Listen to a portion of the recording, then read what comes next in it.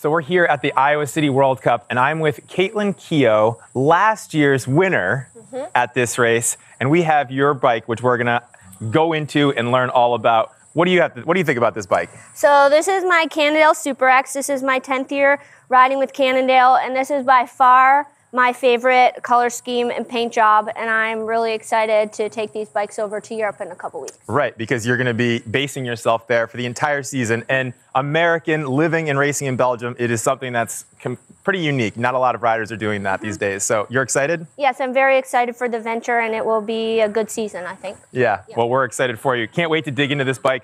Good luck today, and good luck for your season. Thank you very much, Jeremy. All right.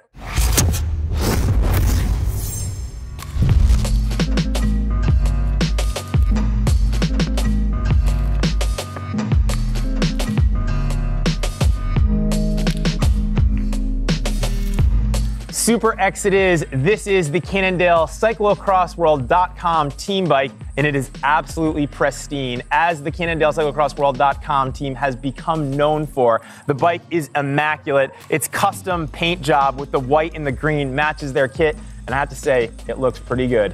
This bike Cannondale calls the boss of cross, but it has doubled up as a gravel bike and an adventure bike for many of the riders on their roster.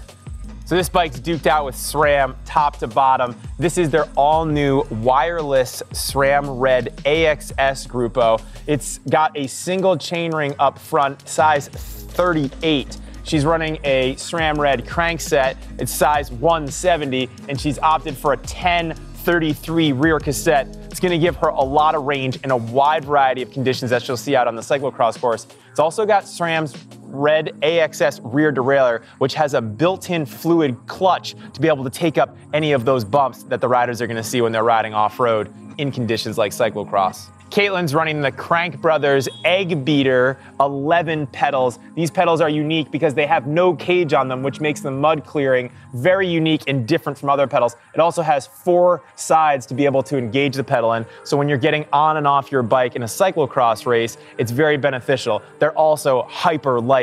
As a pair, they're only 175 grams.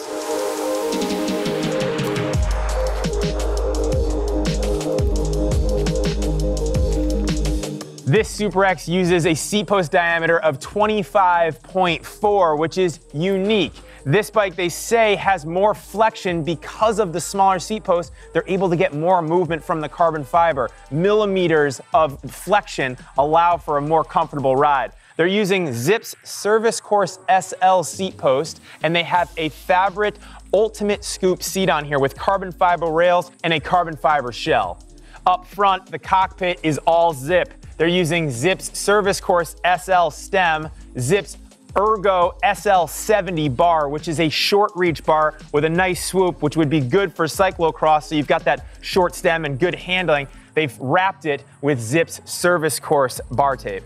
The Cannondale team uses Zipp's 303 carbon tubular wheels, which have famously been ridden to world championship victories with Wout van Aert over the past three seasons. They have Vittoria Terreno Mix 33 tires on here. These tires use graphene technology and this is Vittoria's middle tire. They have a slick tire, a mixed tire, which is this middle one, and then a wet tire for the muddy conditions. The brakes on this machine are SRAM red. They're using six bolt calipers and 140 rotors. The bike is also completely internally housed, making it look super clean. Okay, it is time to weigh this Cannondale Super X. Let's see what we come in at. 16 pounds on the dot. Okay, I don't normally do this because I think it's weird, but I have to say this free hub sounded immaculate. Let's see how it sounds. Pretty good.